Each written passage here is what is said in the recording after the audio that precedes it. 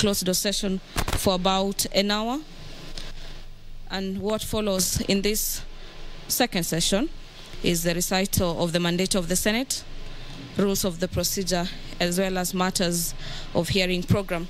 That will also be followed by the introduction of members of Nairobi County Assembly representing the County Assembly and their councils, if any. There'll also be an introduction of the governor and the council representing Governor Mike Sonko. Charges leveled against the governor will also be read before senators and the County Assembly of Nairobi opening statement will be made on their behalf as well as the opening statement on behalf of governor for about 30 minutes. The Senate will then proceed to hear the evidence by the County Assembly, evidence of witnesses, if any, as well as cross examination and re examination of witnesses. That will be followed by matters questions and request for clarification by senators in regards to grounds for removal of the Nairobi Governor Mike Sonko. The governor for Nairobi County will be any minute from now be appearing before Senate to defend himself following his impeachment by MCAs.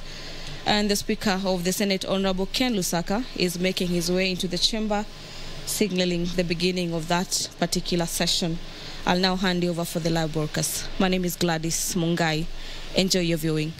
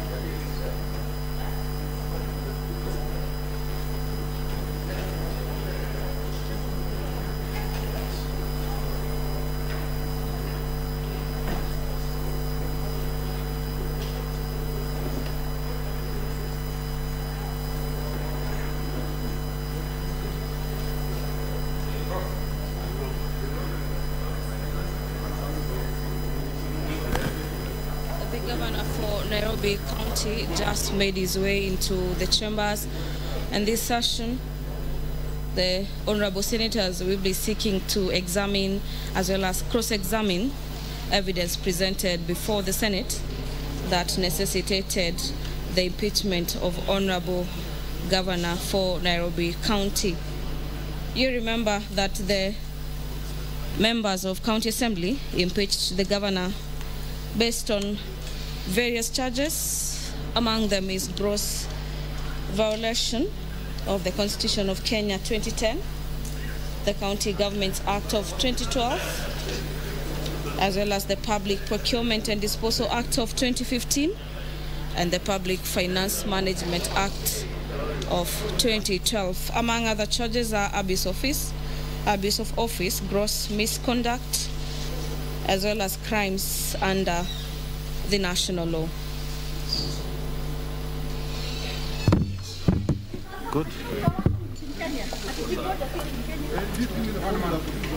Pursuant to Standing Orders number 30, on request by Majority Leader, with the support of the requisite number, the Speaker appointed this day on Wednesday, as well as Thursday 17th, 2020, as the days for the special sitting for removal to investigate the proposed removal of office of Governor Mike Sonko. And that has since been gazetted to necessitate the honorable members to sit between today and tomorrow to investigate those charges. According to the Gazette notice, the sitting shall be held virtually as well as members present in the chamber to prevent senators from chances of contracting COVID-19. The governor for Nairobi County will be appearing in plenary. This is after the lawmakers decided against establishing a committee comprising of 11 members only to hear the impeachment motion against the besieged governor. This was a surprising turn of events as the Senate abandoned the route of the committee after the majority leader Samuel Poghisio withdrew the motion in the last minute. The Speaker of the Senate, Honorable Ken Lusaka, has already furnished the House with all the accusations raised against the governor that led to the decision of 88 members of County Assembly out of 122 members of the Nairobi County Assembly who voted to send the governor home. Among the charges read to honorable members is that the governor abuses office by violating Article 175 of the Constitution, as read together with Section 2 of the Leadership and Integrity Act on the conduct of state officers, and that the governor had consistently intimidated as well as harassed and molested officials of the county executive. This includes blackmailing his county executive.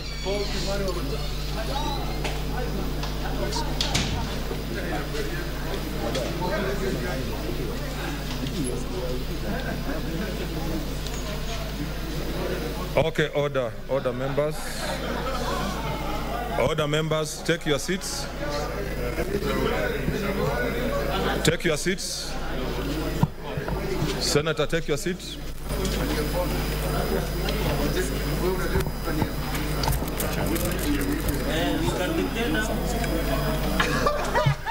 Take your seats, honorable members.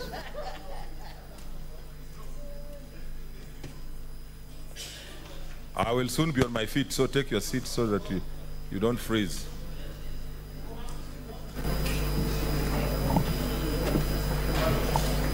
Okay, honorable senators, order. Honorable senators, ladies and gentlemen, having dispensed with the pre-hearing meeting of senators, which was a closed-door session, it's now time, take your seat.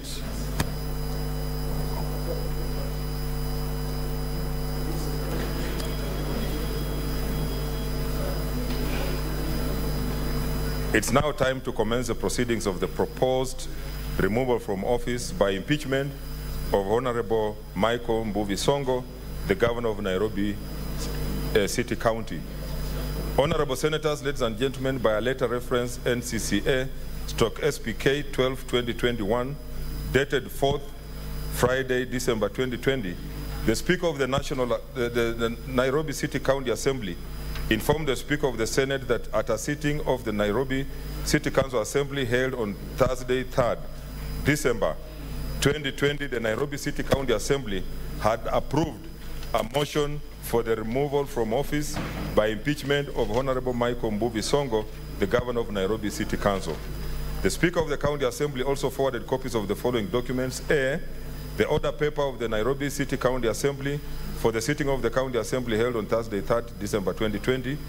B, a notice of motion by Honorable Michael Kumo Kada, MCA, dated 25th December, November 2020 on the proposal, proposed removal from office by impeachment of Honorable Michael Mbuvi Sonko, the governor of Nairobi City County.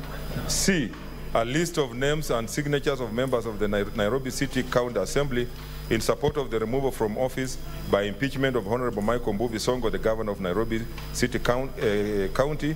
And D, the votes and proceed, proceedings of the sitting of the Nairobi City County Assembly held on Thursday, 3rd December 2020. Take your seats.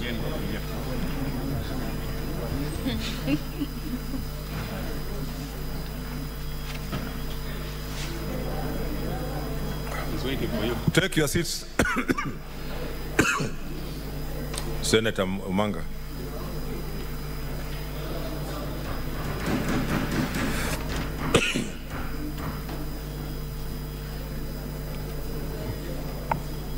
Take your seats.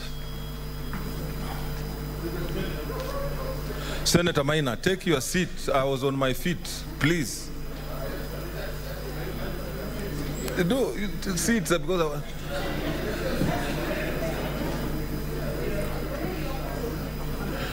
Okay, order.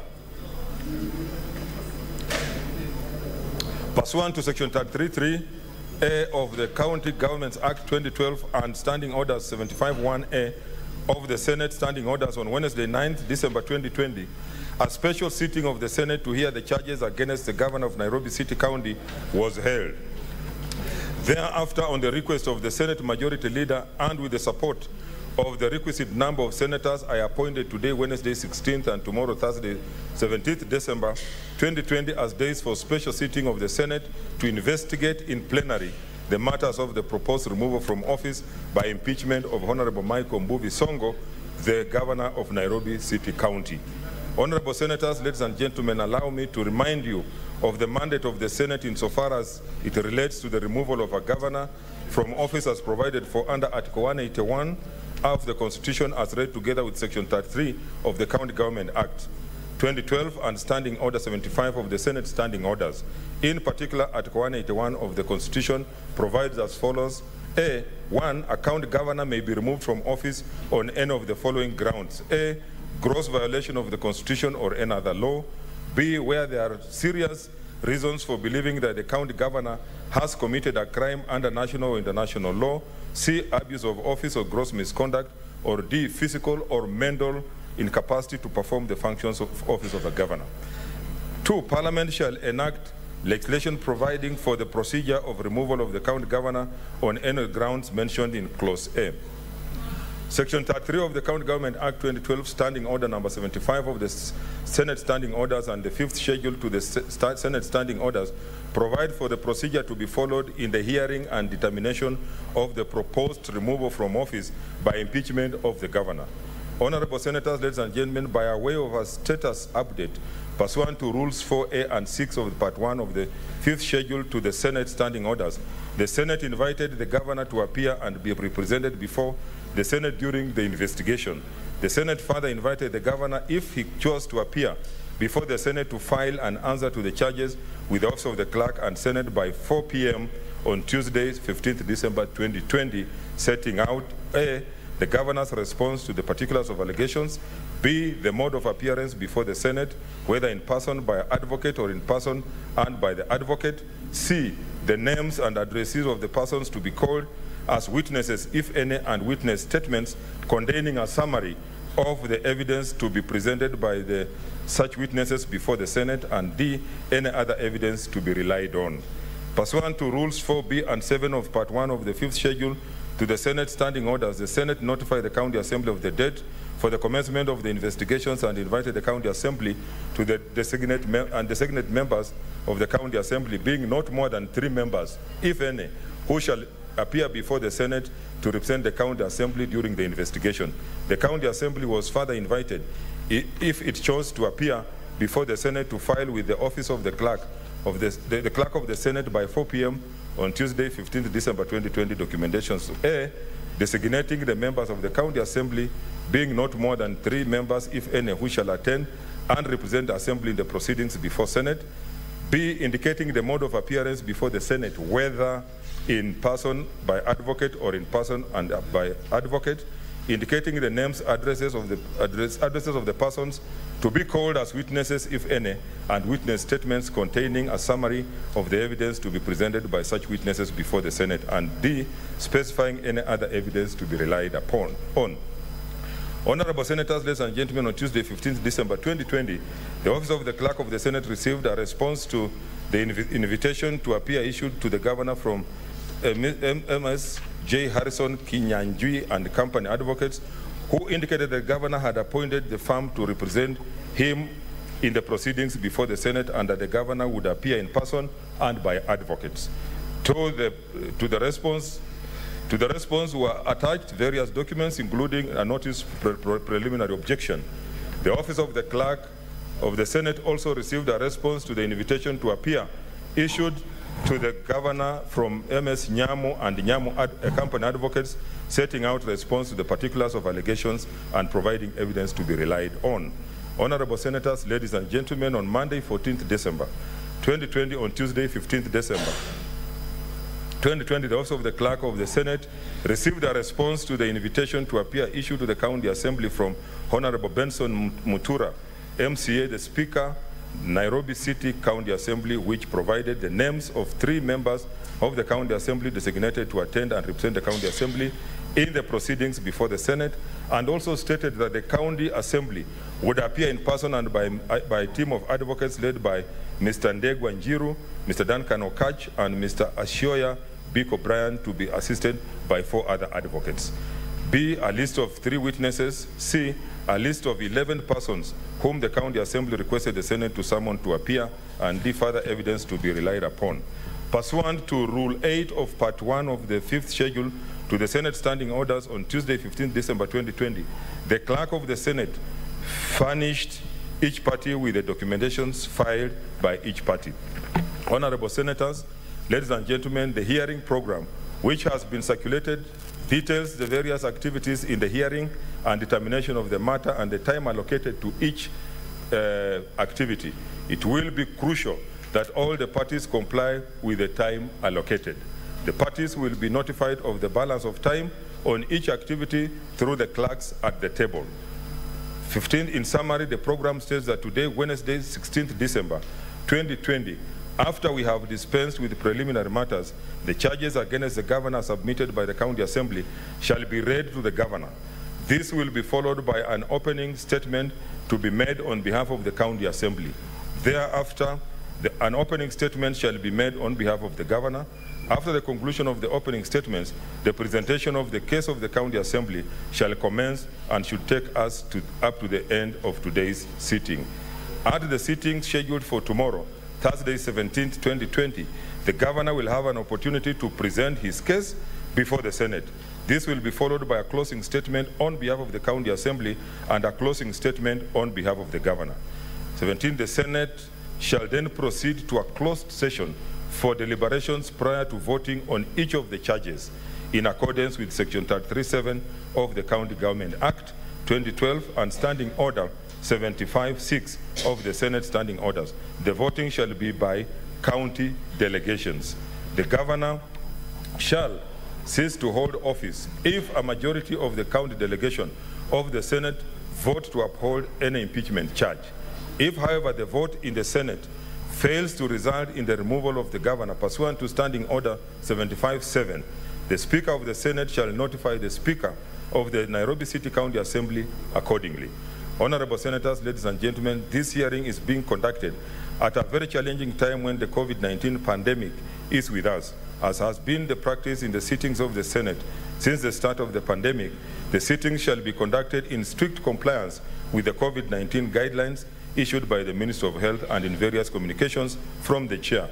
I therefore implore you, Honorable Senators, ladies and gentlemen, to observe and abide by the COVID-19 uh, gu- guidelines throughout the sittings. As I conclude, I would like to assure you all that the Senate is cognizant of the gravity of the matter with which it is seized and that it shall accord the parties a fair hearing. Honorable Senators, ladies and gentlemen, I now invite counsel for the Nairobi City Council Assembly to introduce the legal team of the County Assembly and the members of the Nairobi County Assembly representing the County Assembly by stating the full names and designation of each person.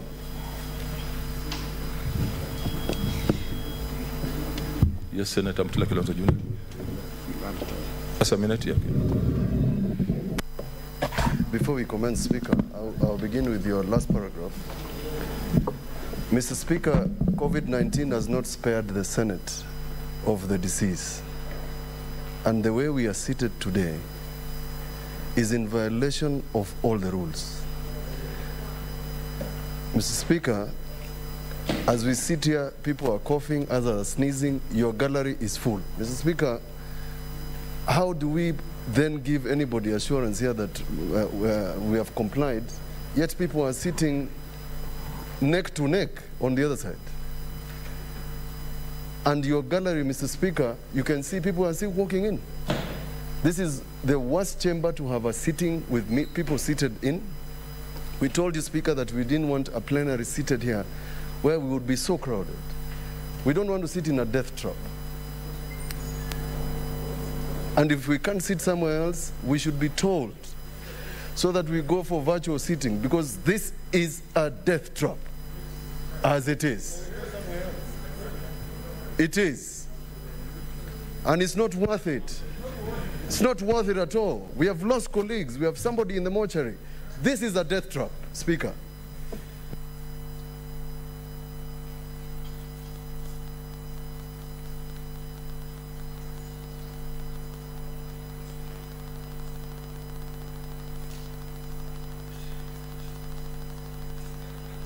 Okay, honorable senators, in the gallery, we were allowed the numbers that are sitting there, but inside here, we have to rearrange. This cannot be allowed to continue because it is, uh, it's dangerous. I want to agree with Honorable Mutula Kilonzo Jr. that as a Senate, we have also been affected by COVID. And therefore, whatever is before us is not bigger than COVID, it's not bigger than our health. So let us uh, rearrange so that people, we sit according to how the seats have been designated.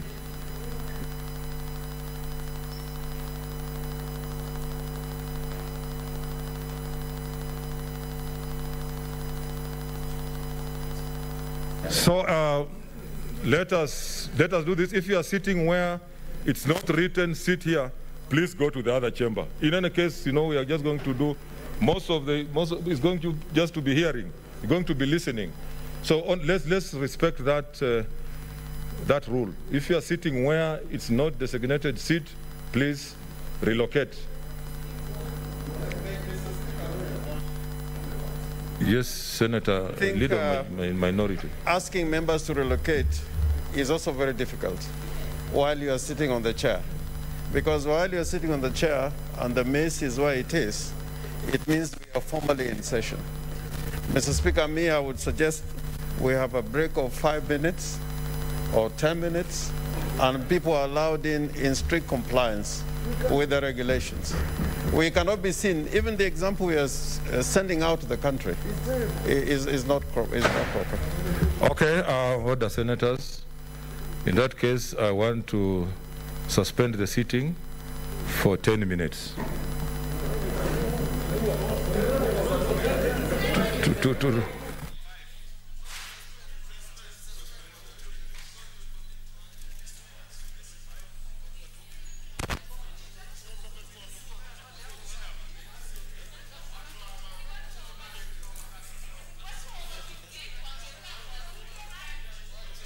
The Speaker of the Senate, Honorable Ken Lusaka, has directed that the sitting takes 10 minutes break. This is to allow for proper adherence of COVID-19 directive. We are taking 10 minutes break. We'll be back in a short while.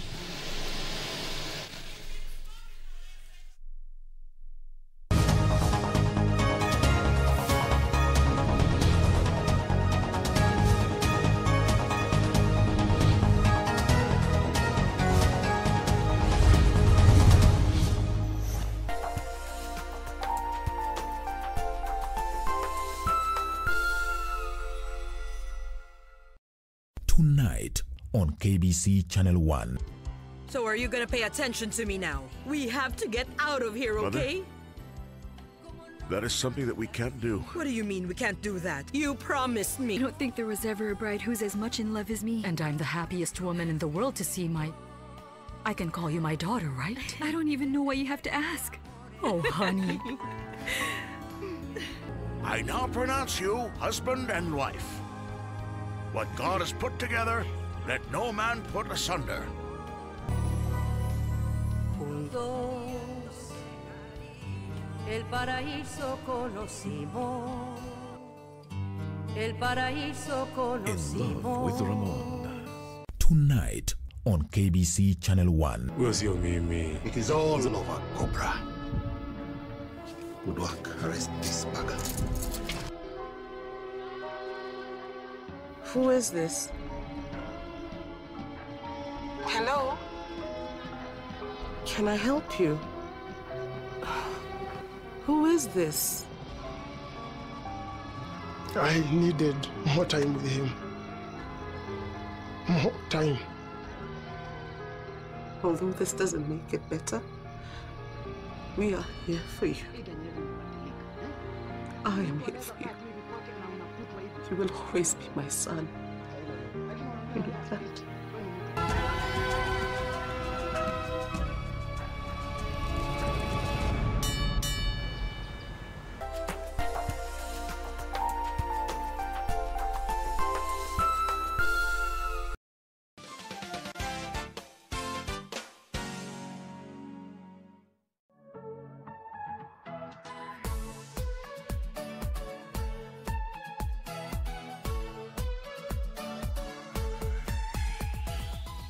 Imagine traveling to Egypt or any of the Middle East countries just to buy a curtain or a handcraft. That would not make sense, but with little creativity put into play, voila, it's possible.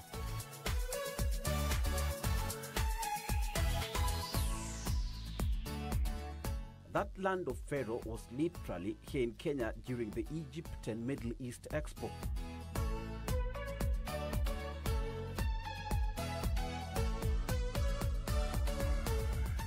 Matters Art and Craft took center stage from interior design accessories to jewelry, you name it, and it was pretty much here.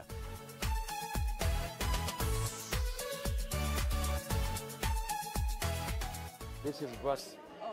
Yeah, we produce it in Egypt and we make it by handmade. We manufacture in our country, and this is by handmade, 100%. And this is brass. We make it handmade, and then we use in chemical colors to lacquer it and never change. This, for example, this is the material. It is in glass also. Writing in Arabic Quran is uh, we call it is relief. Is making by hand also and you can use as decoration like this. Even this one you can use in the set, even you can hang it in the wall like this. This is the King Tut, famously youngest king. They did youngest king. He was uh, controlled Egypt also, and his wife is Nefertiti. It is famous. Had a long story of this man, of the king, the pharaoh.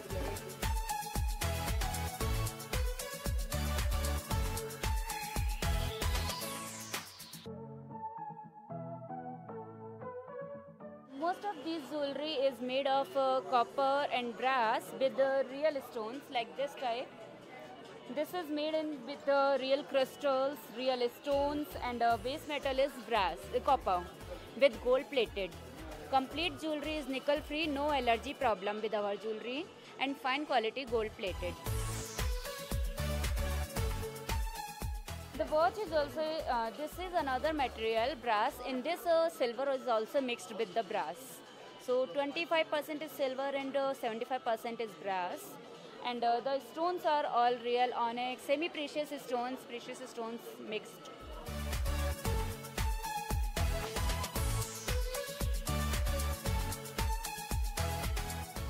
I come here for uh, many times because my work is handmade work. Not I go buy from other places and I come sell here. No, many people for many exhibition, they go buy from stores or from in China or from in other country and they come here for selling. Me, I'm never do that because my production is only by handmade working. I beginning from the wood and the mirror, everything in my stand and the perfume natural.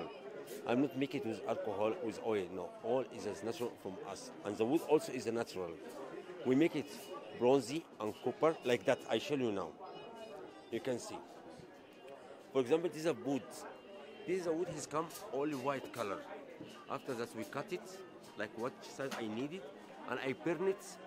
I make a color. I don't make a, in, a, in a fire. No, I bring some paper, some cotton, and I burn it and I put it inside. He make it direct, it changes the color. Because the color come from paper is a black. After that, we make we don't make a paint it the color black or brown or uh, any white, no, like any house, no. After that, we bring it some of here, bronzy or copper, like what you see here, and when we cut it, we make it first. It's come plain. We go make by handmade. We have a mini stuffing when in pieces. After that, we bring it this stuff here, musmari, small one, and we fix it. Anything I make it it is my mind. I'm not go on internet and I do it something and I make it. No, I cut it the material, I cut it, I make it handmade, and after that I do. Sometimes you find all is not the same working because I'm not go make stamp. If I do stamp, it's come correct. No, this model here is not the same. This other one, not the same other one, because the color of mine of a handmade.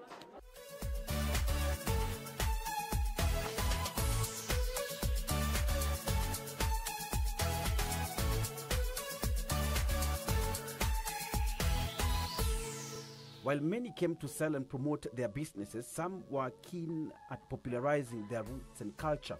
Our main focus is towards promotion of our art, culture. Uh, though I am from uh, India, but we are all one, you know. And this is what we produce is uh, the cotton. We produce handmade bags. We produce handmade cushion covers, brocade fabric cushion covers. This is all handmade because we support art, we support our culture and craftsmanship. You know, like a bag like this you see. This is all handmade. It takes approximately around two days to make one bag like this because this is all handmade, a craftsmanship as we say.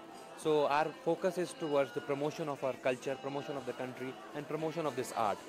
Like this, you can also see there are all handmade cushion covers. The bag, as you see, these bags are also all handmade. So this is basically art. It's being promoted all over the world, and uh, we always been supported by the Egypt group. So it's been a lovely experience in Kenya. The people have been so nice. I've been to so many countries in Africa, but the best I feel uh, the warmth I get uh, when I visit Kenya is the best. You know, the people are very warm and they give us a brilliant response to the products. They understand what the craft is all about, you know, and they support these things.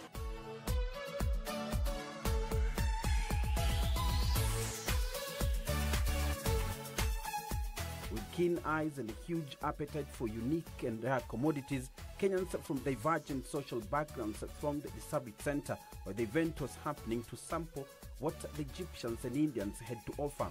Indeed, everyone had something to take home. come to Egyptian Expo to see what they have today.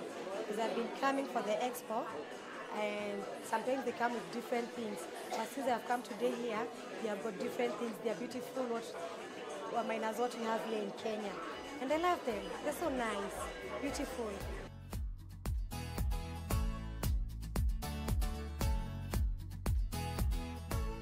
Come to shop here every time the, the Egyptians come, and so far so good. The the goods are nice. They're very unique. Uh, I've never seen other good things like this one. Uh, okay, I shop every time they come, but the things, okay, they are durable, they work well, and they are at fair price. Curtains, jewelry, handcraft, wood and metal furniture wooden antiques, and a host of other products displayed a potent mix of the Egypt and Middle East culture all too well. Style breeds confidence, and confidence breeds grandeur. On this account, the goods exhibited were top notch and were one of a kind never to be found anywhere else. Very nice, really. They like our products because it's everything is new for them, uh, and the people's like our jewelry. The reason being, this is not allergy, no allergy, and uh, all real stones we sell, and we never sell any fake items to them. As the expo continues to gain momentum, one thing is clear Kenyans have had a taste of it and they are clamoring for more.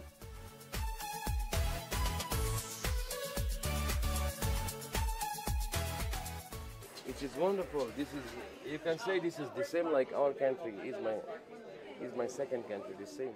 I feel like in Egypt. We appreciate that and continuance. We have to prove Kenya and Kenya prove us. The Kenyan people is a nice, good, good people, and nice here. Where, because I go in here, study center, I go in CRM, I go in Eldoret, I go in Kisumu, Mombasa. All I like this country too much. This second country for me.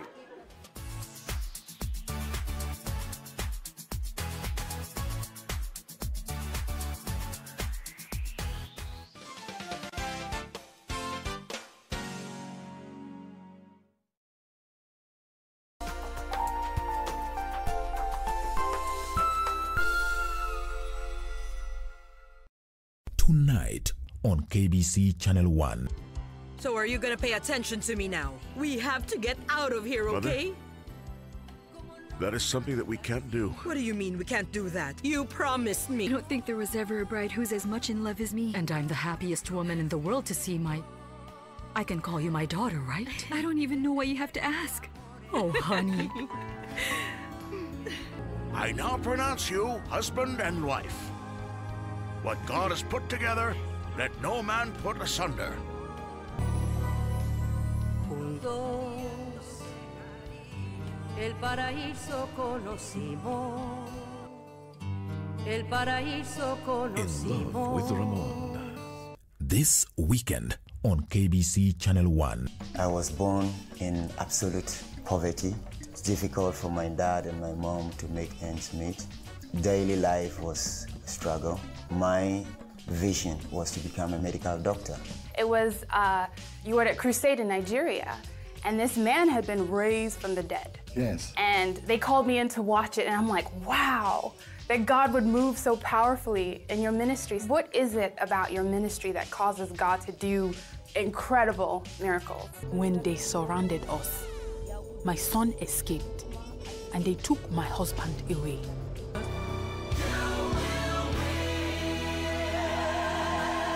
So put your fist in the air like a winner and say, It's my winning season. Come on. It's my This weekend on KBC Channel 1. We just need to catch him doing it. We want you to move both the meth and the money. What's in it for me besides more cash? A lot more cash. Guys, we got company rolling in from the west hard and fast.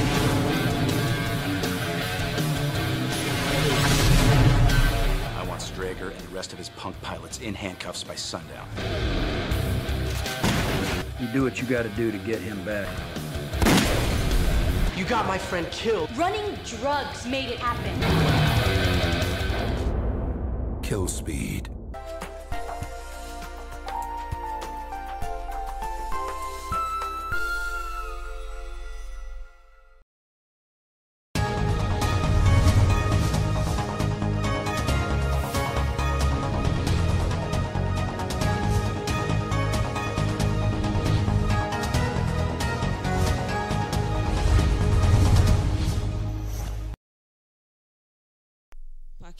Now the fate of that particular governor lies in the Senate.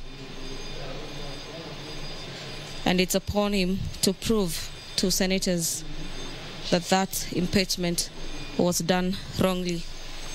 In February, you remember this year, Sonko survived, announced a motion after the court intervened, stopping the tabling of a motion against him. But that came to pass last month when members of Nairobi County Assembly impeached the governor. During the impeachment process, the governor was accused of gross violation of the constitution, also matters to do with the misuse of public office and harassment of officers of Nairobi County Assembly. The members of County Assembly also said the governor was lacking the mental capability to run the county government of Nairobi. The motion moved by MCA Ogada. The MCA rallied the county legislators to exercise their powers to impeach the governor as efforts were put in place to have Sonko mend his way proved to be futile.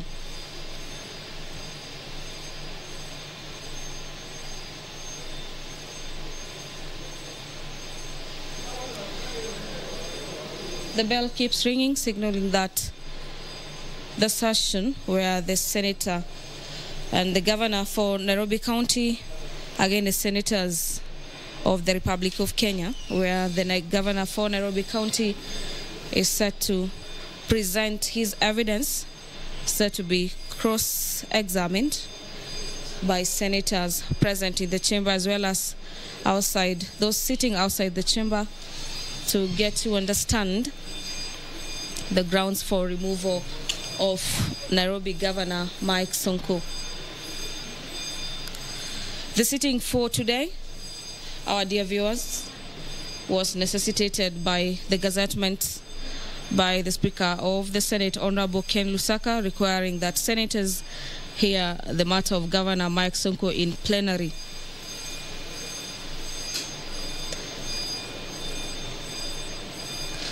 Fifty-nine members of county assemblies allied to Governor Mike Sonko, who happened to be with him in Kwale, however, claimed that their votes were illegally cast in the total votes, that is 88, who voted to have the governor sent packing. And today begins the first day when the governor for Nairobi County will be facing 67 senators after those particular special sittings were gazetted by the Senate to allow for senators to hear and determine his impeachment motion.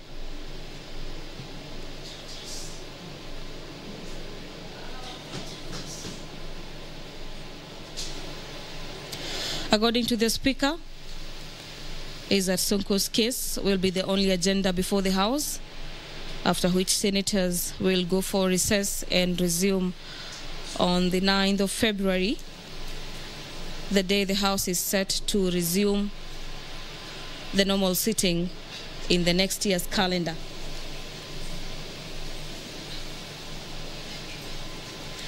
As it is right now, the COVID 19 guidelines have been observed in the House, and the House is set to resume from the 10 minutes break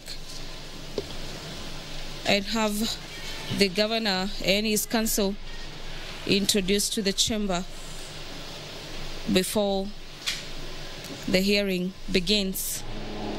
And pursuant to Article 251 and 251B, the Speaker of the Senate just walked into the chamber and now hand you over for the live broadcast. Enjoy your viewing.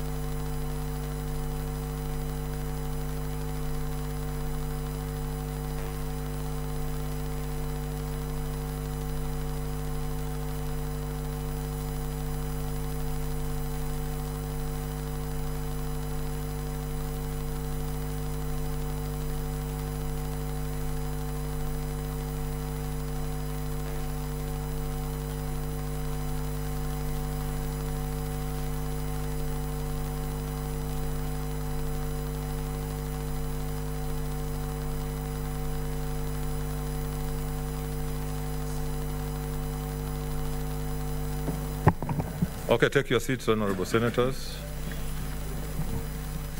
Okay, um, I'll just read what I said last before we broke. That I'll now invite counsel for the Nairobi City County Assembly to introduce the legal team of the County Assembly and the members of the Nairobi City County Assembly representing the County Assembly by stating the full name and designation of each person. Uh, may it please you, uh, Honorable Speaker, members of the Senate, my name is Ndegwa Njiru. And have your masks on all, all the time, all of you. Thank you. I am the lead counsel in these uh, proceedings. With me, I have Mr. Milimo, who is going to do the entire introduction of the team taking the proceedings. Much obliged. Mr. Milimo.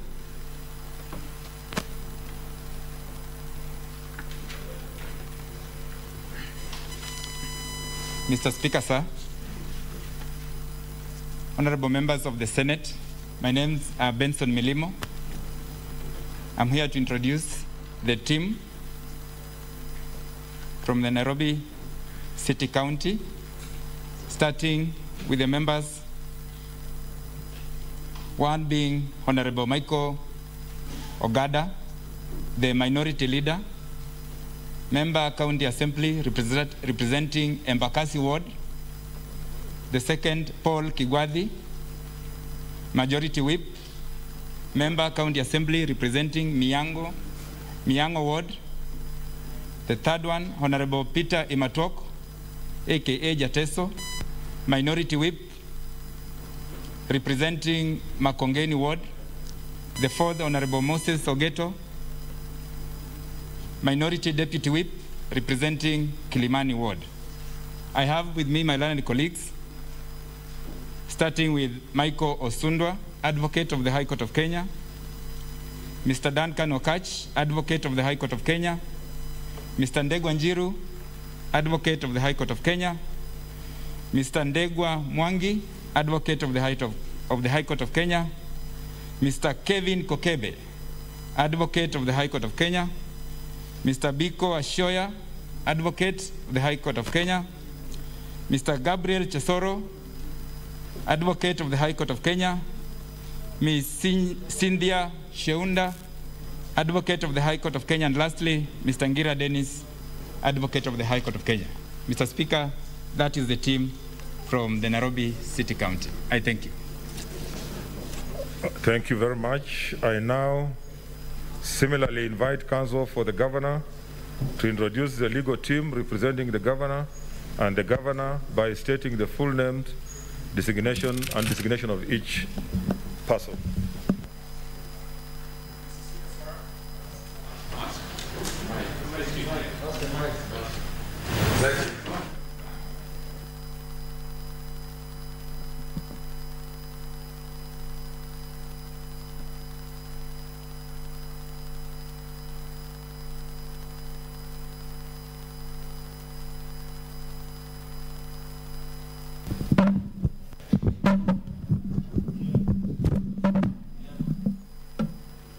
Thank you very much. Good morning, Mr. Speaker, sir, honorable members of the Senate, ladies and gentlemen. My name is Harrison Kinyanjui. I appear on behalf of His Excellency the Governor. I'm an advocate of the High Court of Kenya, Court of Appeal, Supreme Court, all subordinate courts in the Republic of Kenya. With me to represent His Excellency the Governor, I have Mr. Wilfred Nyamu. He is an advocate of the High Court of Kenya. Oops, sorry.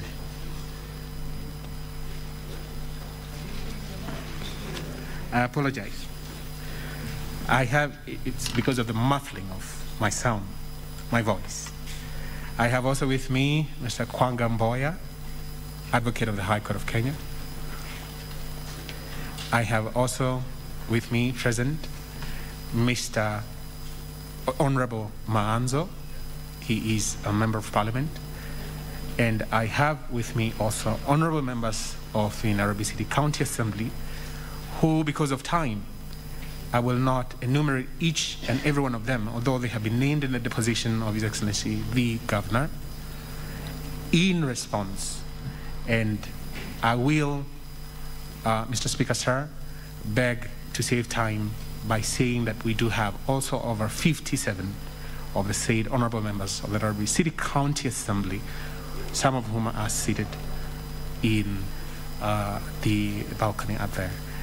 Uh, Mr. Speaker, sir, allow me before I sit down that I invoke your rules in part one of the fifth schedule, which designate and delineate the procedure to be followed in plenary. Honorable members, we raised a notice of preliminary objection. This was uh, order. Order. You're I supposed to Thank you. introduce your members. We are yet to get there. So just do much, what. I have directed you to do. Very well. Honorable Senators, on behalf of the Senate, I welcome the County Assembly's team, the Governor's team, members of the public and the media to the Senate and to these proceedings. I now invite the clerk to read the charges against Honorable Michael Mbuvi Sonko, the Governor of Nairobi City County. I thank you.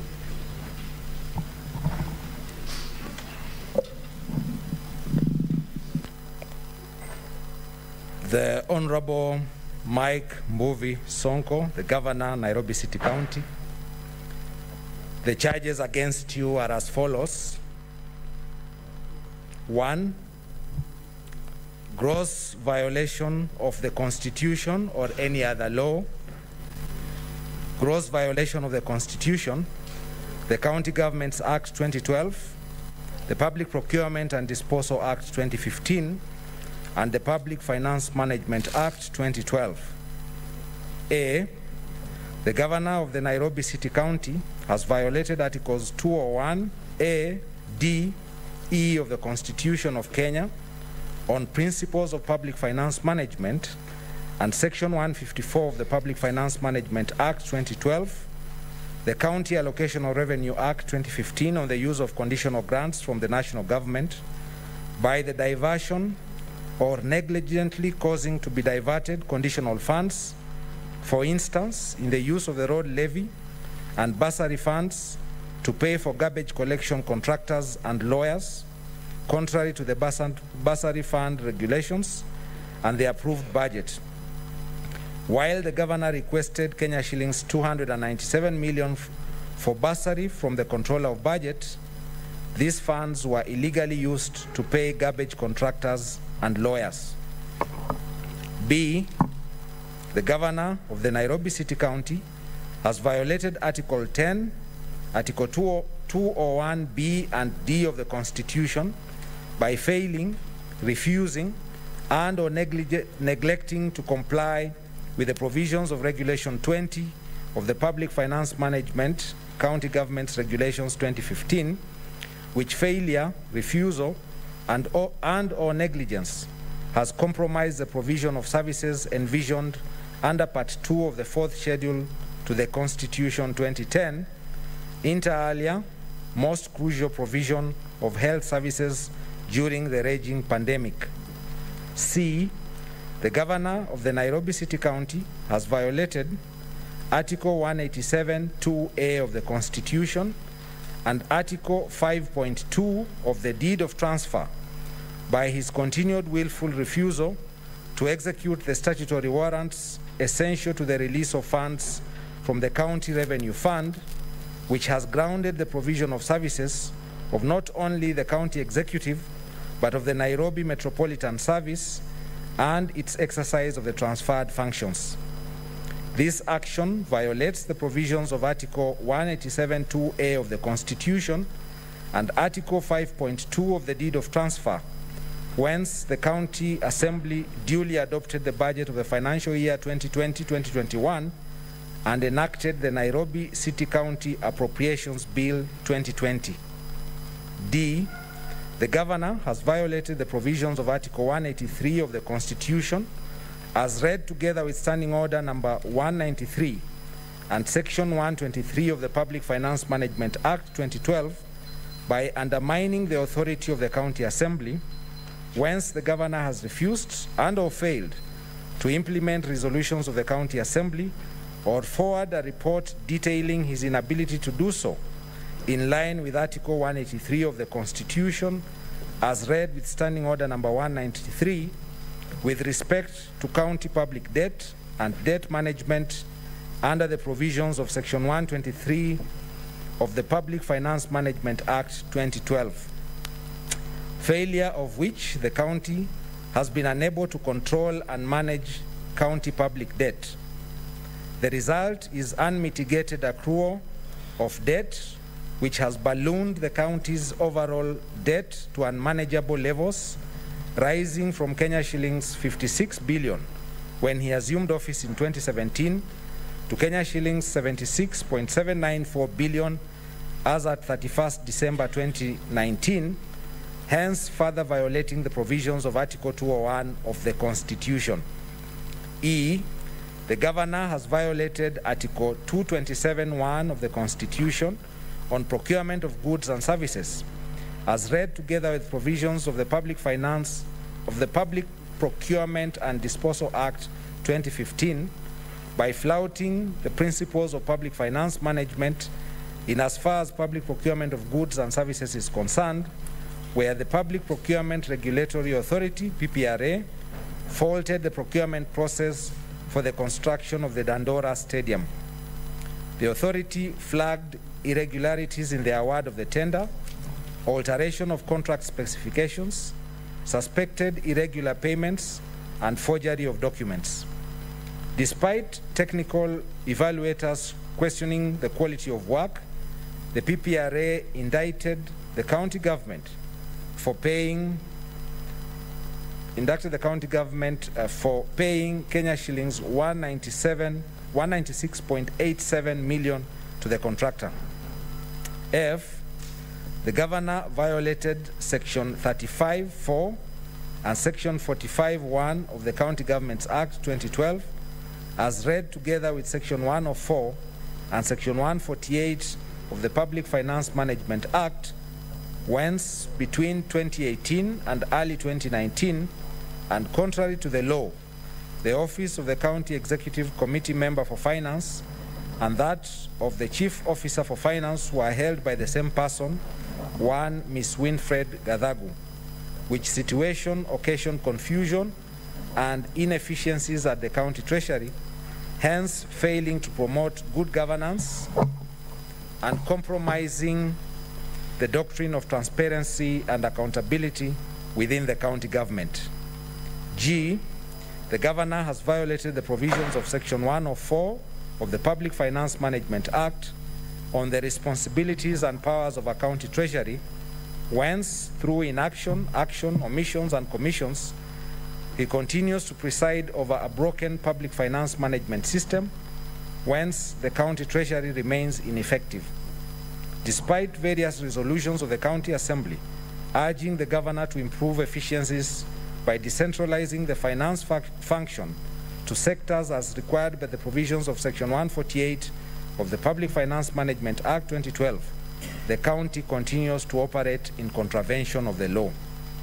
H, the governor has violated the provisions of Article 5.5 of the Deed of Transfer of Functions by his refusal to hand over the necessary documentation to enable the Kenya Revenue Authority to undertake optimal revenue collection under the transferred functions.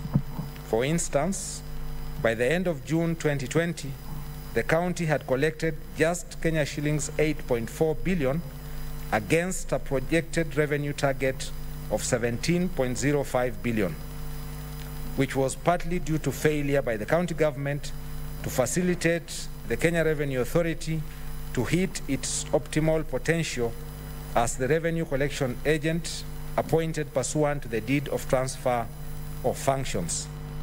I, the governor grossly violated Article 201 of the Constitution on the prudent use of financial resources and Section 159 of the Public Finance Management Act 2012, as read with Section 7 of the Nairobi City County Tax Waivers Administration Act 2013, by unilaterally and arbitrarily issuing waivers in total disregard of the law. The governor was aware that the law provides that waivers should be granted by the CECM for finance. J. The governor has violated the provisions of Article 201D of the Constitution on principles that guide all aspects of public finance in the Republic, and Article 227.1 on procurement of public goods and services, and the provisions of the Public Procurement and Disposal Act 2015 by willfully interfering in the award of the tender for the construction of the Dandora Stadium as established by the PPRB, leading to loss of public funds in overseeing payments despite concerns by technical officers. K. The governor has violated the provisions of Article 201 of the Constitution and the Public Finance Management Act 2012 on principles that guide all aspects of prudent use of public finance, where either intentionally or negligently he presided over massive loss and theft of county public funds in the three years he has been in office, as evidenced by the Auditor General's report of 2018 2019, which raised the red flag over the city's stalled uh, 2 or 4.2 billion uh, projects, as well as failure by the county government to meet its, its revenue targets. L. The governor has violated the provisions of Article 5 of the Deed of Transfer of Functions by sabotaging the transfer of functions. The governor is yet to provide NMS with crucial information necessary in aiding the carrying out of the transferred functions. For instance, failure to facilitate NMS with data on ongoing projects, pending bills, and staff payroll details on transferred functions has greatly derailed the performance of these functions to the detriment of the public good. Charge number two, abuse of office. A, Uh, the governor has abused his office by violating Article 75 of the Constitution, as read with Section 11 and 13 of the Leadership and Integrity Act 2012 on the conduct of state officers, where the governor has persistently intimidated, harassed, and molested officers of the county executive, including blackmailing his county executive committee members and chief officers with one year contracts whose renewal he has undertaken arbitrarily, leaving the officers jittery about their employment and creating a climate of fear, uncertainty, and despondence. For instance, in May 2019, the governor failed to renew the contracts of all 23 chief officers, instead directing that they hand over to directors, greatly affecting the continuity of service delivery and accountability in the county. B, the governor has abused his office by violating Article 75 of the Constitution, as read with Section 16 of the Leadership and Integrity Act 2012, by unlawfully using public funds to pay for his daughter's travel to New York, USA, to allegedly attend the county First Ladies Conference held during the 62nd session of the Commission on the Status of Women 2018.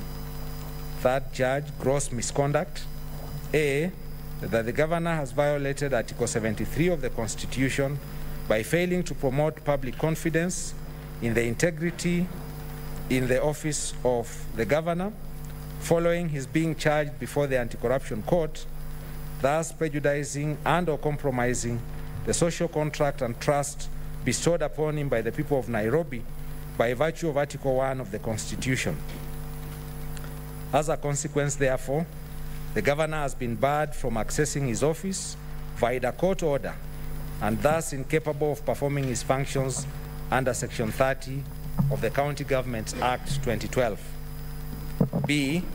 The governor has violated Article 73 of the Constitution and Section 8 and 11 of the Leadership and Integrity Act 2012 on public trust and professionalism, where he is on record admitting that he was intoxicated and thus not in the right frame of mind when he signed the deed of transfer for the transfer of certain functions of the county to the national government in February 2020.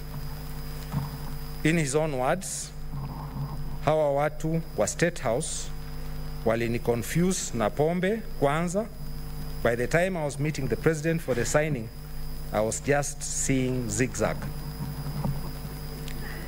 This allegation of impropriety on the part of State House imputes improper motive on the office of the president and brings disrepute, ridicule, hatred, and contempt to the office of the president and of the governor. C. The governor has violated Article 73 of the Constitution and the Leadership and Integrity Act 2012 on the responsibilities of leadership by failing to professionally perform his constitutionally sanctioned duties owing to his constant absence from office, even before he was formally restrained by the courts from accessing his office due to corruption charges, whence the governor remained constantly unreachable in person or on his phone for inordinately longer periods of time to the huge detriment of the performance of the functions of the county executive. Indeed, the governor purported to execute the functions of the county government from his home in Mua Hills, Machakos County. D. The governor has violated Article 75 1C of the Constitution as read with Section 11 of the Leadership and Integrity Act 2012 in respect of conduct of state officers by drawing a salary and hefty allowances and enjoying the privileges of the office he holds while failing to diligently report to work and being perennially absent even before he was formally restrained by the courts from accessing his office due to corruption charges. E.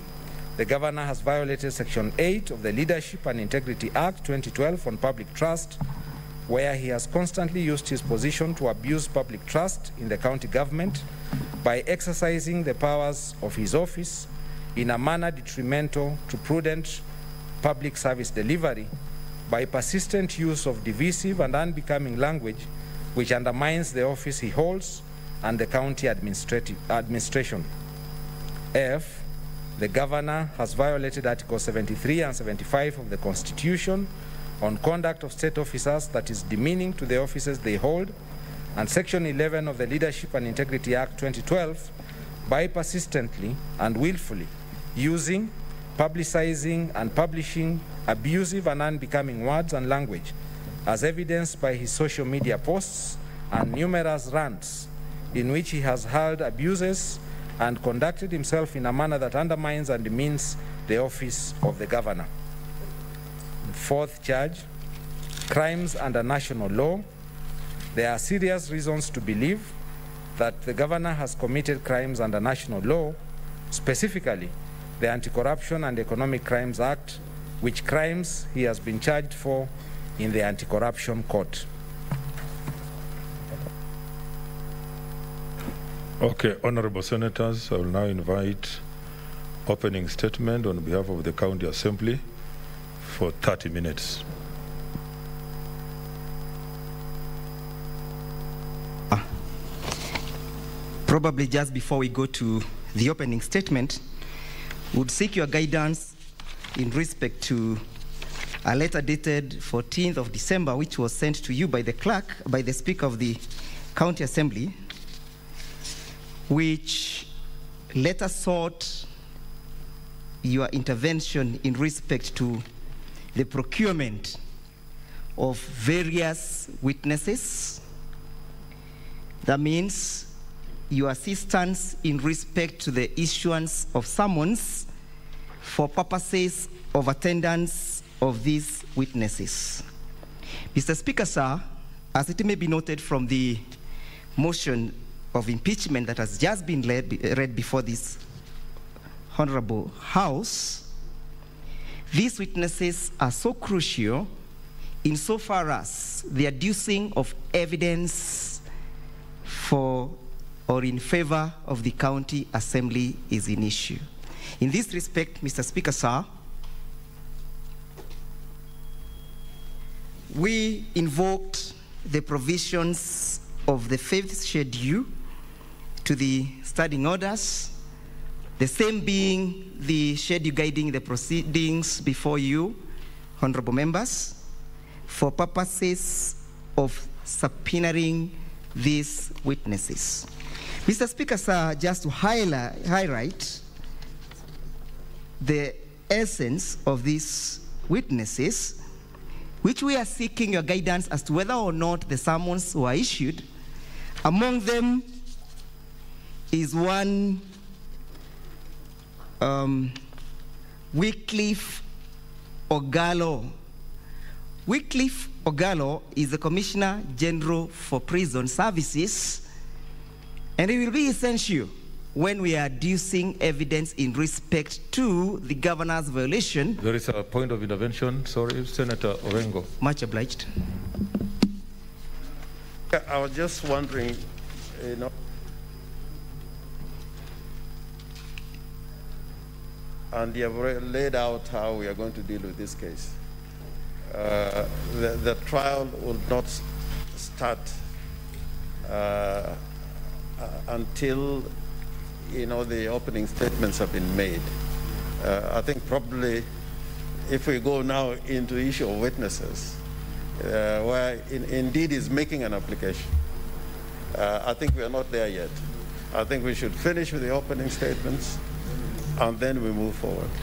Just yes, um, I agree with Senator Orengo that to make your opening statements, which you have 30 minutes, then we are yet to get there, just the way I gave direction on the other request. Well guided, and thank you for, for the benefit with the wisdom of Senator Orengo. Mr. Speaker, sir, I will jointly make these. There is another intervention. Sorry, Senator Kindiki. On a point of order, Mr. Speaker, a further point of order based on what my learned friend Senator Orengo has raised.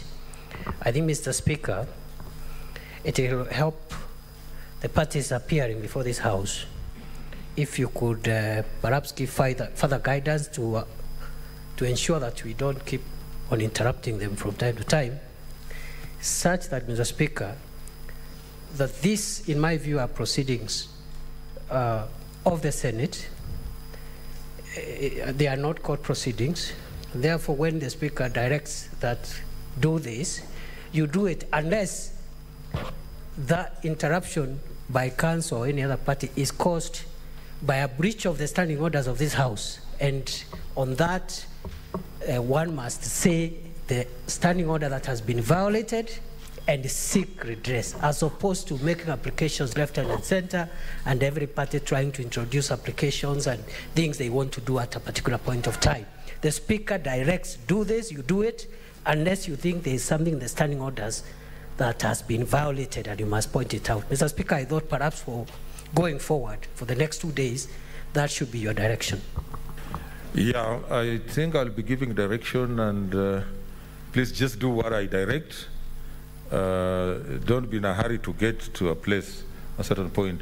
Let's just go systematically. There's a way we are going to arrive at all that. So proceed to make your statement. Thank you, Mr. Speaker. I had indicated that with me, I'll be joining issues with my learned friend, Mr. Biko, in giving the opening statement. So I'll only take 10 minutes and I'll reserve the rest to him. Mr. Speaker, sir, and the honorable members of the Senate, this House has gathered here today in respect to hear the motion for of the governor of Nairobi County. Mr. Speaker, sir, it shall be noted that the motion before you was moved and passed by an uh, overwhelming majority of 88 members of the county assembly representing various wards in this uh, uh, county. Mr. Speaker, sir, when the members of the county assembly moved to move this impeachment and the resolution for impeachment of the governor, they were not actuated with malice. They were actually moving to enhance the provisions of Article 10 insofar as the protection of the sovereignty of the people of this republic is in issue. Mr. Speaker, sir, the members of Nairobi County Assembly moved to pass a resolution to impeach the governor, having well acknowledged the provisions of Article 10 that calls for the principles and the values of governance insofar as the question of transparency is an issue, The question of accountability is an issue. The question of good governance is an issue. And the question of the aspects of integrity is an issue. They were not lost of the fact that when somebody assumes an office and that of the status of the governor, that person must conduct and behavior, either in public or in private, must be beyond reproach. It must be a conduct that squares out with that of the Caesar's wife. But what are we having? We are having a case of a governor gone rogue. A governor who fails to appreciate that he's holding a public office and there is expectation for him that has been laid, as set down by the law. This house and the previous houses, they have enacted the Leadership and Integrity Act. And more so, Mr. Speaker, sir, the people of Kenya enacted Chapter 6 of the Constitution that laid the bare minimum upon which a state officer or a public officer must conduct himself.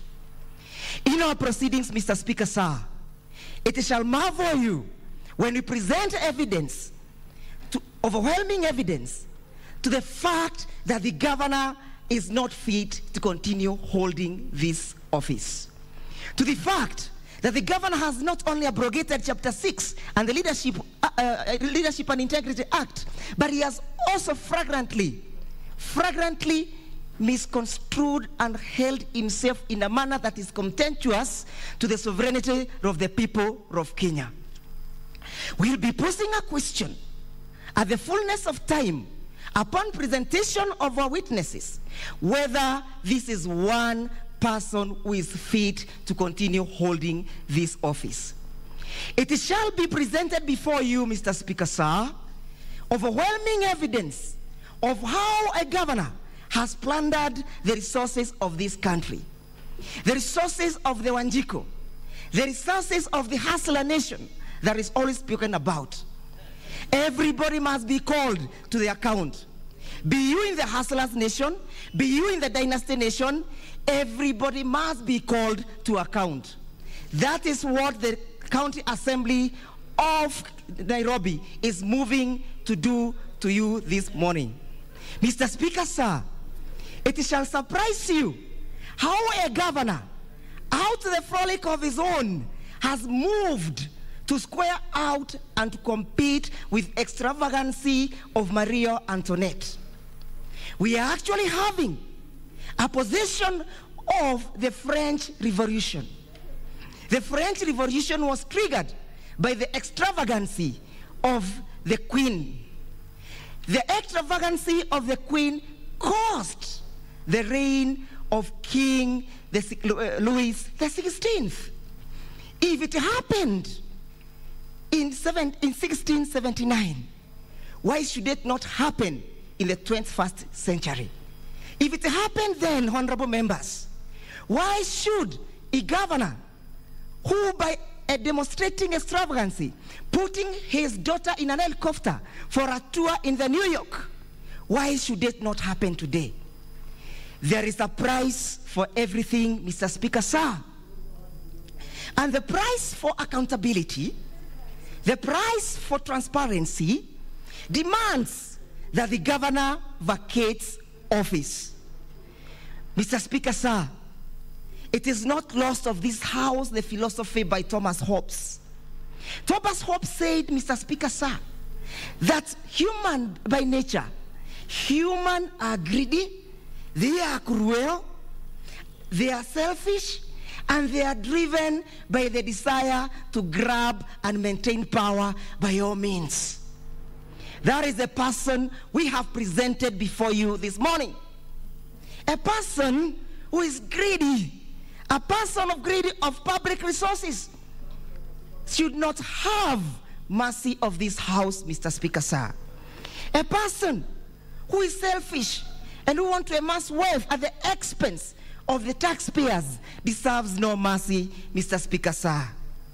Mr. Speaker, sir, we shall be presenting overwhelming evidence. To an extent that this house shall not be left with any other option but to agree with your brothers and sisters in the County Assembly of Nairobi. Mr. Speaker, sir, the question of good governance cannot be compromised. The question of transparency cannot be debated. The question of accountability cannot be subject of debate. Once you hold a public office, you must be able to understand that you are accountable. And what is the responsibility of the county assembly, Mr. Speaker? Mr. Speaker, the responsibility of the county assembly is not to adduce evidence beyond reasonable doubt at any given time. It is only to substantiate the charges. I promise you, honorable members, Mr. Speaker, sir, that the fullness of time we shall have evidence to substantiate that the governor is not fit to continue holding public office. What becomes of our sportsmen and sports ladies?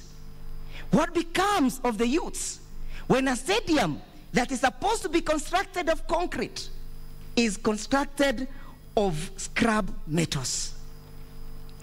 What becomes of our youth? Is this person conscious of the intra and extra generational equity principles recited in the preamble to our constitution? Is this person worthy to, share, to, to usher in a promise for the youths? Can this person give hope to our youth if he is plundering what belongs to them?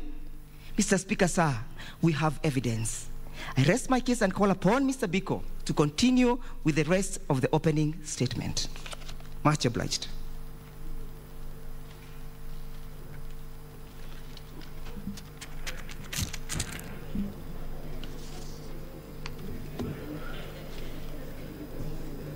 Mr. Speaker, sir, without wasting time, Mr. Speaker, honorable members, the book of Ecclesiastes was written by the great King Solomon towards the end of his reign. And this is what he says that there is a time for everything, that there is a season for every activity under heaven. And he proceeds to enumerate those seasons. And this is what he says that there is a time, there is, that there is a time to plant and a time to uproot, a time to kill and a time to heal, a time to tear and a time to build. And then he goes on and on and on. Honorable Speaker, honorable senators, the governor is aware of this fact and the wisdom of the words of Solomon.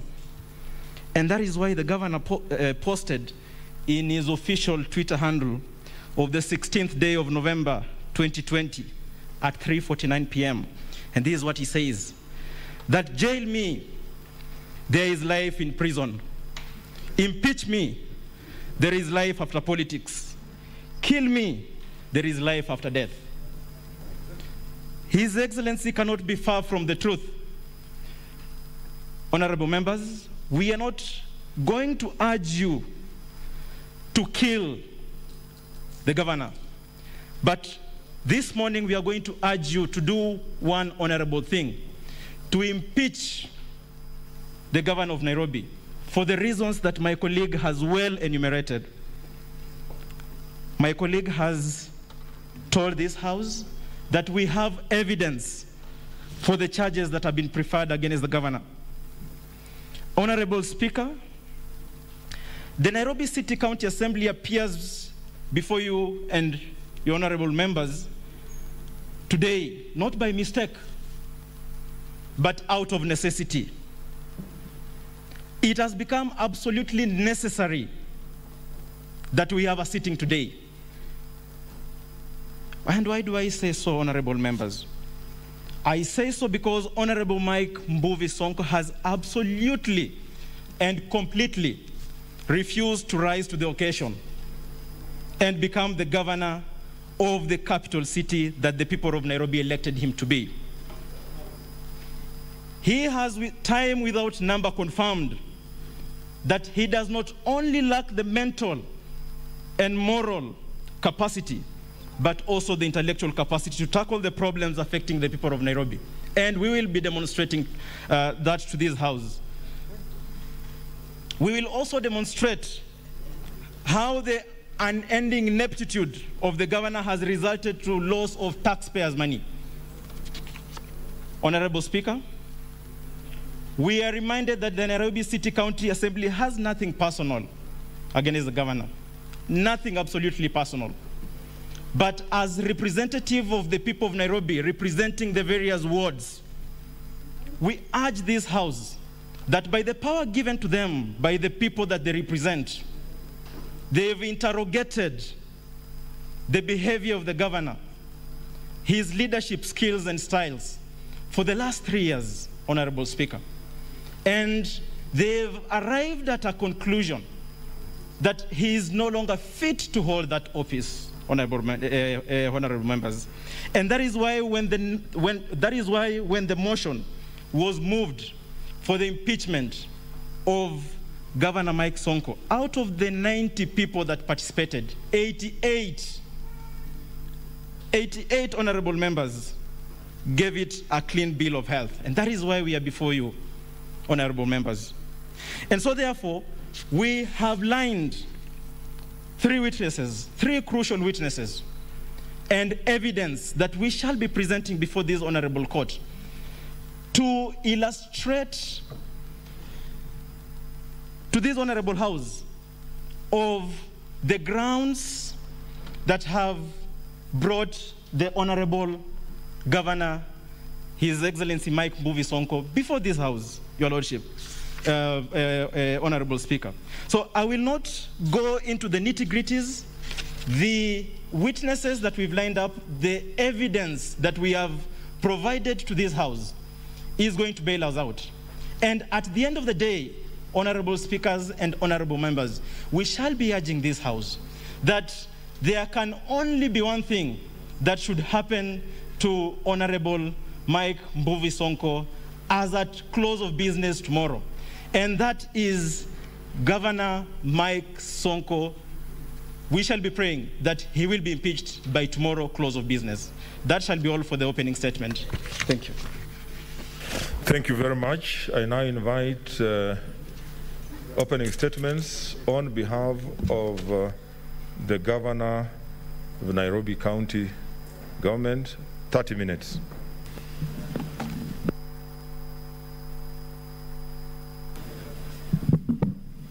Thank you. Mr. Speaker, sir, and honorable members of the Senate, you have the mandate to exercise your authority within the scope of your standing orders. Only if, and only if, you are satisfied beyond peradventure that the county assembly executed its mandate before the assembly, not only within the provisions of Article 181.1, but also the County Government Act, Section 33, as read with the relevant standing orders of the County Assembly. Honorable members, if any of you were to ask the advocates or any of the witnesses of the county assembly, did you furnish the governor with the evidence you are tabling before us, honorable members? The answer will be fumbling. But if you ask them, isn't it so that standing order number 72 sub 2 says that you should provide the governor with the evidence at least three days before the debate on the motion. Honorable members, you will find no evidence. You will find nothing that demonstrates, not even in the Hansard from the county assembly, that that mandatory requirement was met. Honorable members, Mr. Speaker, sir, in the result, the bundle that is before you stands expressly barred, which is the position of His Excellency the Governor, by operation of Rule 19 of Part 1 of the fifth schedule to your standing orders.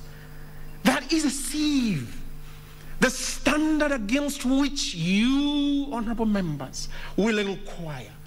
Has the threshold for the evidence now, County Assembly, you're presenting to us been met? Did you present? Why I say so? Why His Excellency says so and will insist in furtherance of his objection on a preliminary way, honorable members, is that your own expression by way of the impeachment bill 2018, you had expressed yourselves on the floor and therein stated in section 15 1 of the impeachment act that a certificate must be produced before you mr speaker by the speaker of the county assembly that there was compliance with that his excellency the governor has sworn a deposition saying I was never presented with any evidence. You will ask, therefore, pursuant to your Rule 19 of Part 1 of the fifth schedule, is that evidence admissible? Is that evidence that you can look into? It is barred by express operation of your rules. Honorable members, this is an honorable house that is governed and regulated by its rules. And honorable members, I am so happy that, Mr. Speaker, sir, you have issued rulings and directions. Solomonic, to direct, and His Excellency the Governor is humbly requesting that honorable members, we abide by the rules, excuse me, of your standing orders wherein His Excellency is saying the accusations leveled against him were contained in nothing but what, Mr. Speaker, sir, you have in the opening of this session enumerated and said that on the 4th of December 2020, a communication came from the Speaker of the Nairobi City County Assembly. And what did it contain? A, the motion that has the charges. B, the list of the members who allegedly subscribed to that motion. And C, the Hansard that was there. Honorable members, the question is now that communication did not contain a list of the witnesses that are now sought to be introduced, barred by your Rule 19.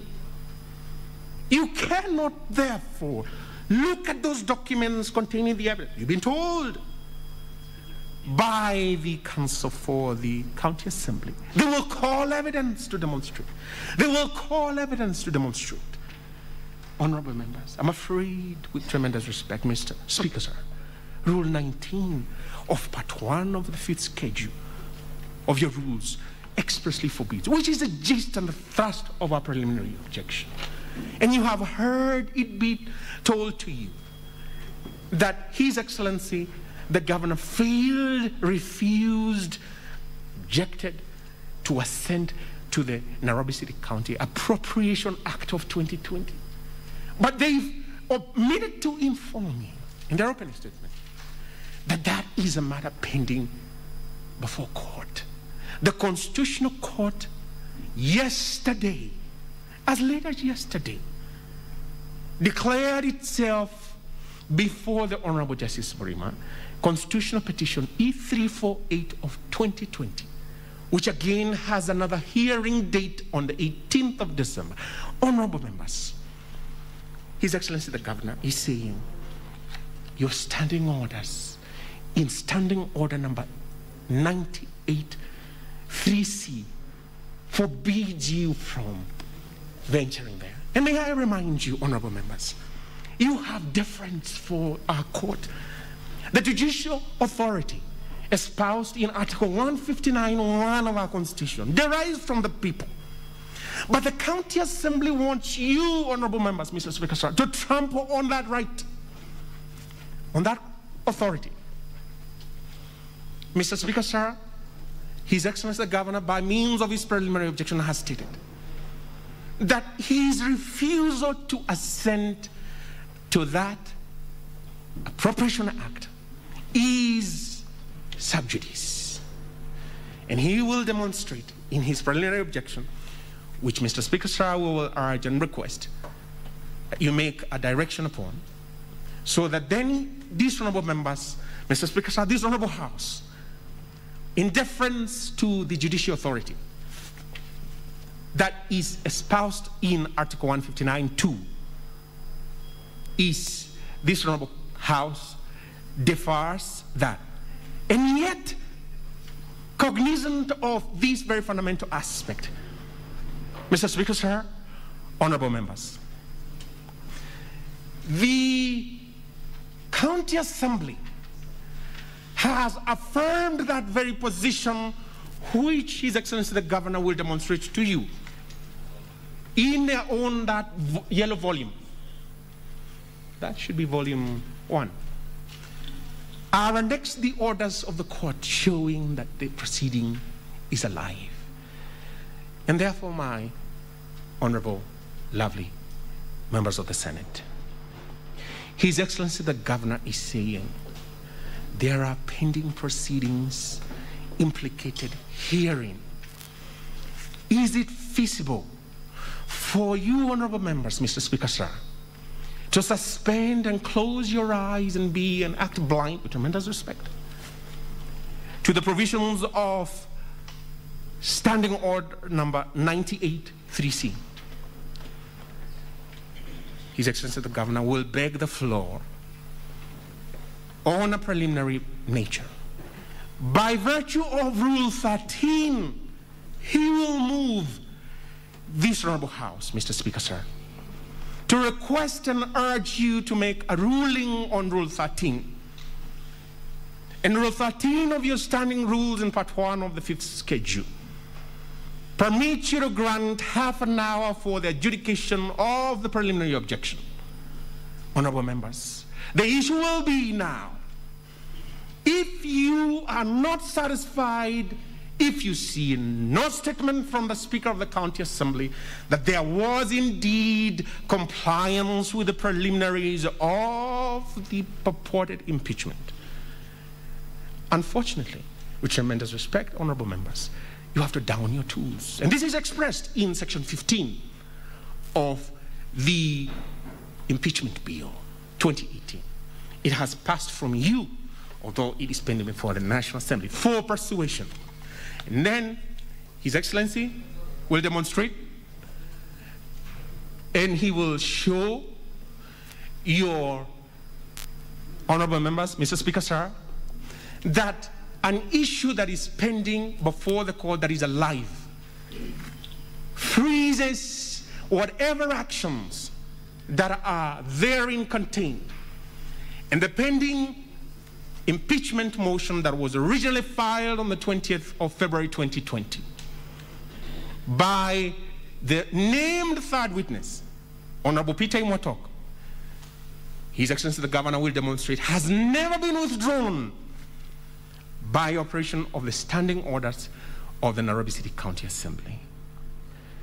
Therefore, His Excellency the Governor is saying he has been subjected to an unfair process. That which violates Article 47.1 of our Constitution can never be validated retrospectively, introspectively, or otherwise howsoever. It cannot. It is dead on arrival.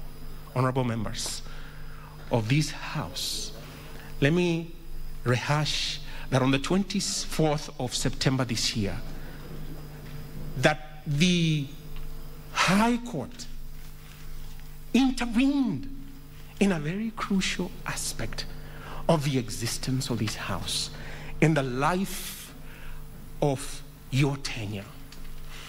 When this Honorable House, as well as the National Assembly, were threatened with, should I say, the truncation of its current term, the High Court intervened in deference to that decision, honorable members. We are gathered here before you, and honorable members, in 2013 as well. Mr. Speaker, sir, you did ask the Supreme Court to assert the authority of this House by judicial intervention, and it was indeed declared that this honorable House has that authority that cannot be whittled down, it cannot be otherwise compromised by any writ or any action or even judicial ingenuity. Honorable members, His Excellency the Governor therefore implores and urges you that as we delve into, you give him the opportunity in furtherance of Rule 13 to demonstrate to you that the issues of his alleged commission of national crimes purported in the accusation number one, I, that he is not able to address the same matter sub judice. The issue of the alleged non funding of NMS, His Excellency the Governor, is not able to address on you. He defers to your standing order number 983C because the High Court in petition E348 of 2020, Nairobi City County Government versus NMS, His Excellency. Sorry, uh, sorry, I'm, I'm, I'm sorry, Mr. Speaker, sir. His Lordship, Mr. Honorable Justice Mrima, has stayed the operations of that act, under which, honorable members, the NMS has been claiming funds. How is it then His Excellency can be accused of failing to release funds to the NMS? In all fairness, honorable members, you will see, therefore, that those charges, 90% of which relate to court proceedings, cannot be incised, removed from, or otherwise extricated from the last paragraph four allegations. Honorable members, inevitably, in the end, we have to assess the application of the Rule 19 of this Honorable House standing orders to the fifth schedule, part one. Honorable members, so that I yield the last 15 to Mr. Nyamu, my learned friend, I will yield to him so that he can demonstrate to you that what is masked in the position of His Excellency the Governor, what is masked as an impeachment process, it is a witch hunt. For what? Because His Excellency the Governor has insisted being a stickler to the law, just as he is before you. They received the preliminary objection. They know they never filed any evidence. Mr. Speaker, sir, honorable members, they filed nothing before the assembly because nothing was tendered before you on the 4th of December. Honorable members, you would have scrutinized that by now. You would have known by now. You would have seen and answered by now. You would even have in minuscule way, your honorable members, Mr. Speaker, sir, seen the veracity of the said alleged evidence. Mr. Speaker, sir, there is one very fundamental aspect. If a man should be denied audience, if a man or a woman should be denied audience when they are faced with accusations, and then sentence is passed against them, is that not in violation of your standing order number 75? That every person should be given a hearing, even the county assembly own standing orders. His Excellency the Governor wants to show you in Standing Order number 72 1A, there was no compliance. And if a man or a woman should be told, I'm charging you with this, but with no evidence, no court of law would convict them.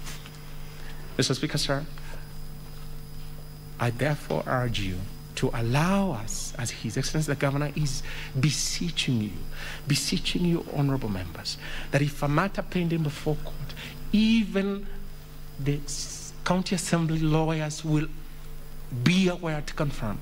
It is before the Honorable Justice Ndomanderi today at 3 p.m. for a ruling. It's a live proceeding. Does it mean the threshold of standing order number 98? 3C? It does. It does. What do we do in the circumstances? We have to yield and yield, Mr. Speaker, sir, honorable members, to the standing orders. They advise us, they map the way forward, they are the beacon light telling us we must stay this hearing.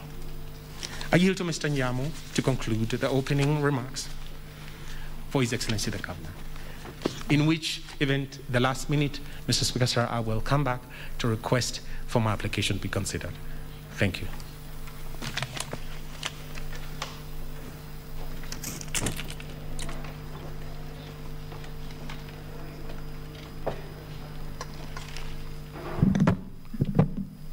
May it please the Honorable Senate, as we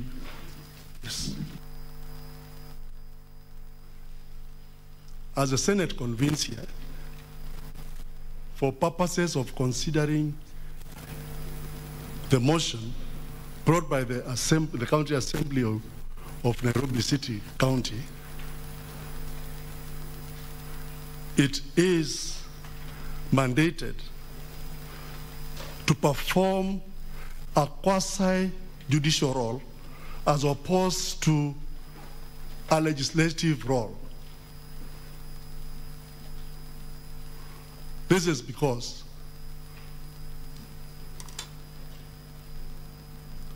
these proceedings are proceedings that relate to a matter that may affect the fundamental rights and freedoms of an individual as envisaged under Article 47, 2 of the Constitution. And we'll be urging this Honorable uh, Senate to assume the role of an adjudicatory body when dealing with this matter. To have at the back of its mind that it is being asked to interfere with the fundamental rights of the governor of Nairobi, Honorable Mike Mbuvi Sonko, under Article 38.3 of the Constitution, which is the right to be a candidate for public office and if elected to hold office. It is also being requested to interfere and interrogate a situation as to whether it would interfere with the democratic rights and principles of the citizens of Kenya, and more specifically, the residents of Nairobi, 800,000 of whom elected Mike Mbuvi Sonko as governor for Nairobi. Honorable members of the Senate, in these particular proceedings, we shall be urging the House to consider that removal proceedings are initiated at the County Assembly and concluded at the Senate. And in that sense, it will not be tenable and would urge the court to find so, I mean, the, the, the, this House to find so, that anything that was not initiated at the Assembly would be introduced in this Honorable House. We shall be making reference to the letter of invitation that was served upon the governor, which letter referred to particulars and evidence as forwarded to the Speaker of this House by the Speaker of the County Assembly. And it is on the basis of that invitation and the documents that were, that were served upon the governor by the clerk of this honorable house that a response was prepared.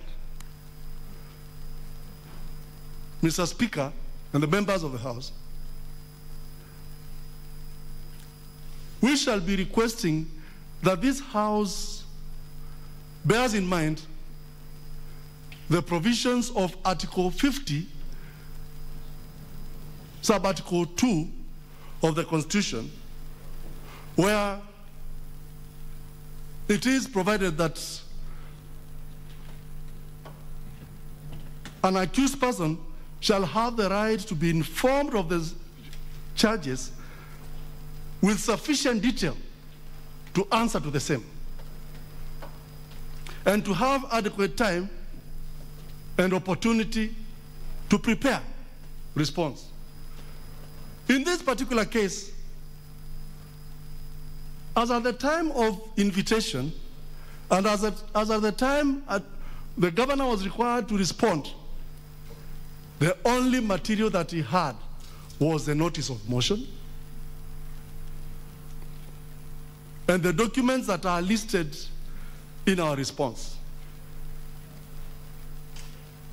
Yesterday evening, after having filed the response, we collected bundle of documents that had been introduced, which included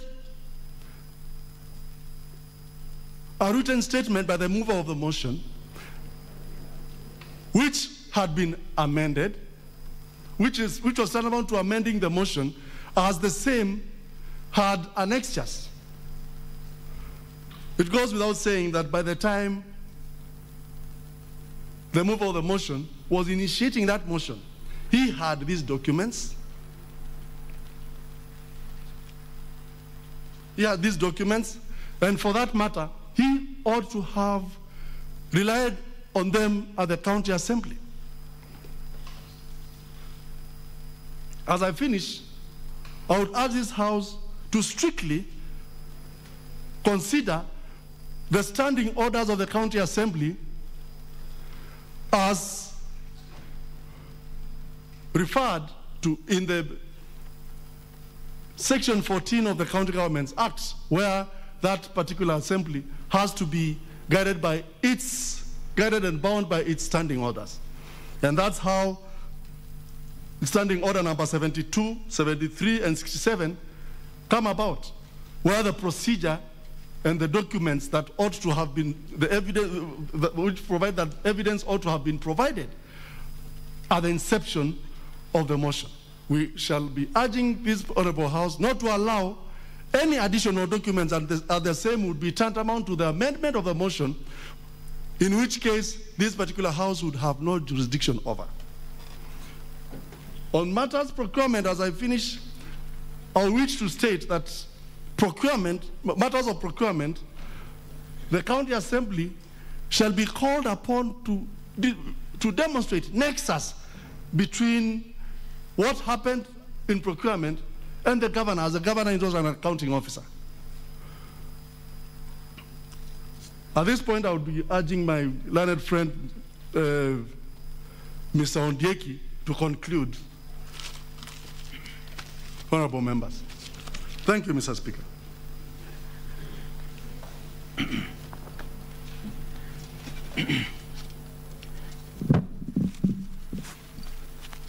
Honorable members of the Senate, this is the biggest court in the Commonwealth because today, as you sit, you see it as the biggest court, which will perform a, a, judicial function, which means procedure is critical and very important. I wish to urge you that the, the Senate has protected devolution. The Senate has provided leadership. The Senate has protected democracy. So we urge this Senate, as you sit as the High Court, as, as a Supreme Court, to ensure that the procedure, the legal procedure, because the County Assembly is bound by Article 10, it is also bound by Article 47, that the procedure must be law. This, I also wish to submit that there is no proper notice of motion before the Senate that it will warrant an inquiry for impeachment because the County Assembly frauded all their rules. They flouted all their standing orders. They flouted the Constitution. And that is why we are saying the Senate, as the protector, promoter, and the defender of democracy, defender of the rule of law, defender of constitutionalism, must stop this on the tracks. Let this motion go back to the County Assembly. Once it is properly formulated and it follows the procedure, then it can land back to your desk. Yes. Uh, eh, I do not want to repeat, but eh, I also wish to submit that the doctrine of separation of powers is very clear. So if the courts are inquiring and the courts are independent institutions competent to inquire, then it is only fair and just within the context of order number 98 of the Senate standing orders that there are active cases that are going on in the High Court and the lower court. It's only fair and just that this is allowed to be concluded, then these matters can be properly addressed depending on the outcome of those proceedings. Uh, the Honorable Senators, I wish to take you to Pontius Pilate. When he went to sleep at night with his wife, the wife told him that he, that man is innocent. So the following day, he had a chance to release one person. There were two people, Barnabas and Jesus. So when he said, Whom do you want me to release? The people shouted, Barnabas. But you all know, your lordships, you and the Senate, that Barnabas was not the innocent person. The innocent person was convicted. With those few remarks, I urge you to protect the rule of law and the constitutionalism. Okay. Honorable Senators, having listened to the opening statements, this is what I want to say. That in the course of their opening statements, both county assembly and the governor have made certain applications. was impeached on the In respect of the county assembly, and this after an application has been made requesting the Senate to issue summons for 11 named individuals to appear before the Senate.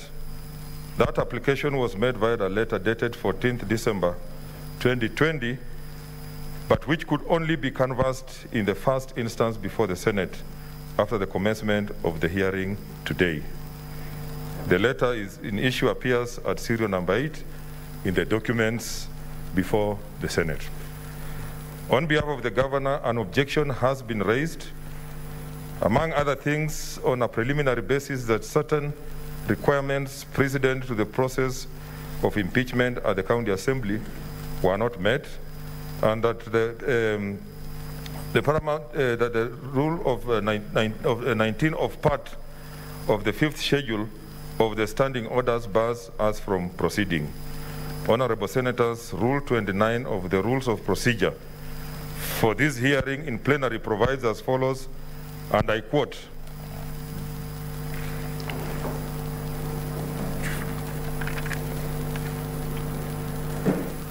where on a particular question or matter, including but not limited to questions of evidence, materiality, relevance, competence, or admissibility of evidence, and any questions consequential or incidental thereto, no provision has been made in the standing orders or in these rules. The Speaker of the Senate shall rule on the question or matter, and the ruling of the Speaker shall be final. Honorable Senators, pursuant to start to rule number 29, I will make my determination on the applications made when the Senate resumes after the lunch break. The Senate now stands adjourned until 2.15 p.m. today.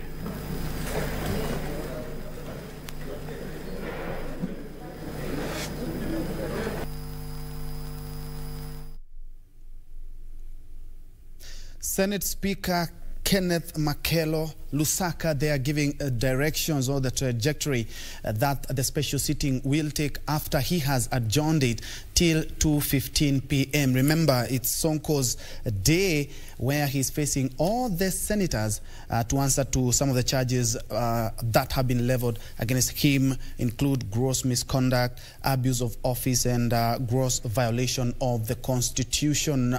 Earlier on, his council, led by Harry Kinyanjui, uh, were representing Sonko, and actually they had filed a case in court trying to stop the special sitting from uh, grilling Mike Sonko. But Justice Ndumanderi is expected to make a ruling by around 3 p.m. So they will coincide both the sitting and the court. And of course, we will update you and we'll be covering the event live beginning to 15 p.m.